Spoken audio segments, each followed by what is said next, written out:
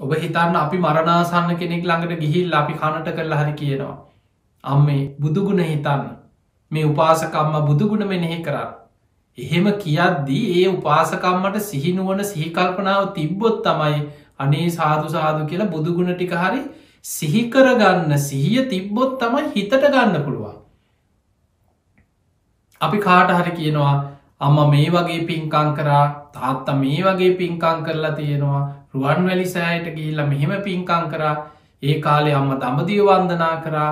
අටමස්ථාන වැන්ද. දැන් ඕ අපි කණට කරලා හරි කියලා සිහි කරවන්නේ සිහිය තිබ්බොත්නේ මරණා සන්න වෙනකොට සිහි කල්පනාවත් නැත්නම් කොහොමද කෙනෙකුට ඒක සිහිකරෝල සිය පිහිටවන් එනිසා මතකතියාගන්න මේ මනුස්ස ජීවිතය වටිනාම දේ සිහිය.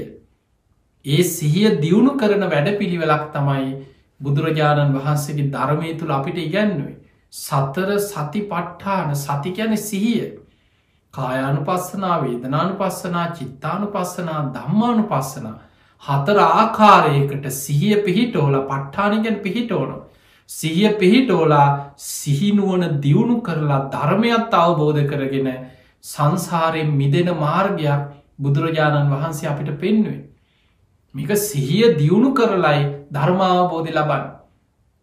එහෙම දියුණු කරන්න පුළුවන් තියෙන සිහියක් දුරුවල වෙලා සිහිකල්පනාව නැතුව සිහි මුලා වෙලා නම් යා කොහොමද ධර්මී ප්‍රතිඵලයක් ප්‍රයෝජනයක් ගන්නේ.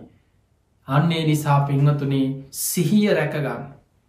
සිහිය රැකෙන්න්න නම් හොඳට පන්සිල් රකින්න. සීලේ ආනිසංසයක් හැටියට බුදුහාන්දුරු පෙන්න්නනවා මහනෙනි සීලවන්ත කෙනා සිහිමුලා වෙලා කලුරිය කරන්න කියෙන්.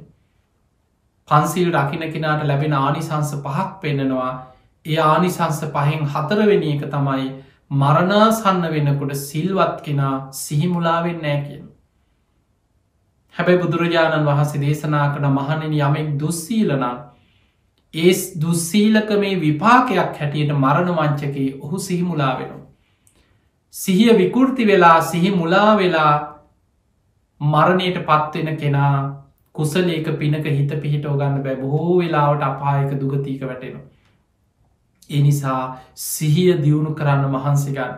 මේ ලැබිච්ච මනුස්ස ජීවිතයේ දවසින් දවස මොහොතින් මොහොත ෂනයෙන් ෂනය අපි දන්නේ නෑ කවදා කොත්තන කොයි මොහොතේ හුස්මටික අයිද මොන විදිහට ජීවිතය අවසන් වේ අපි කවුරුත් දන්නේ. ඒ නිසා අප්‍රමාදීවෙන් වීරිය වඩා පිංගතුනි අප්‍රමාදී භාවය බුදුරජාණන් වහන්සේ තරන් සංසාර බය අපිට පෙන්නලා අප්‍රමාදී භාවය ගැන මේ ලෝකයට මතු කරලා පෙන්න්නපු ශාස්ට්‍රුවරයෙක් මේ විශ්වයේ ලෝක වෙන කොහෙවත් නෑ. බුදු කෙනෙක් තරම්.